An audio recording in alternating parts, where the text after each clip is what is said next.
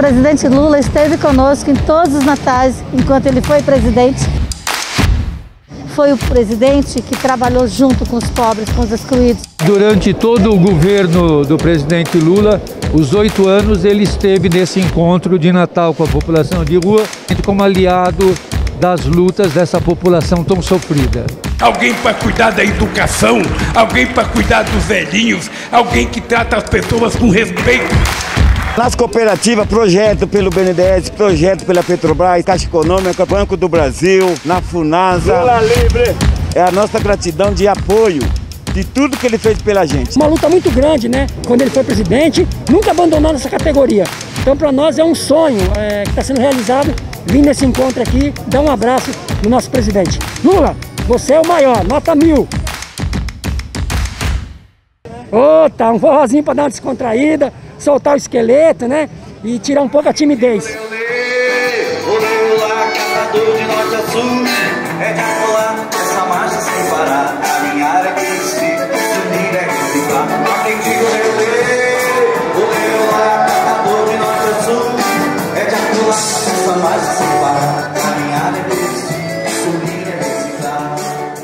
Lula é um da gente, porque o Lula sabe o que é passar fome, tem uma mãe que foi trabalhadora assalariada, foi assalariado. Então, tudo que o Lula construiu e constrói como políticas públicas, que eles não entendem, é que tu fala daquilo que tu viveu. E só sabe da minha fome e eu que já passei. E agora eu vou te pedir para você falar qual é o teu sonho, que eu vou te falar qual foi o meu já mulher adulta.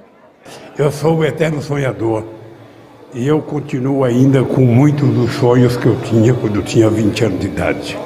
Continuo acreditando que é possível construir um outro Brasil, que é possível colocar todas as crianças na escola, que é possível todo mundo tomar café, almoçar e jantar todo dia, que é possível dar emprego para todo mundo, que é possível melhorar o salário mínimo, que é possível todas as pessoas ter direito de entrar na universidade.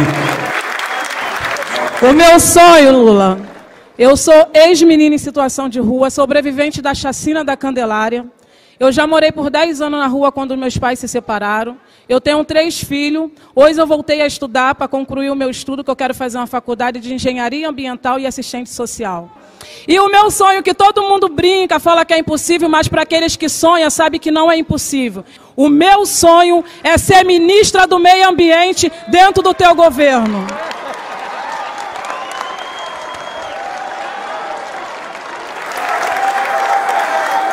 Companheiros catadores, levante a cabeça. Companheiros de situação de rua, levante a cabeça, porque esse país vai voltar a sorrir. E quando for em dezembro do, que, do ano que vem, nós estaremos aqui outra vez fazendo uma reunião com vocês e assumindo o compromisso daquilo que a gente vai realizar junto com vocês. Um abraço, um beijo no coração, Feliz Natal, Feliz Ano Novo e que Deus nos dê força para enfrentar o ódio que tomou conta desse país. Um beijo, gente.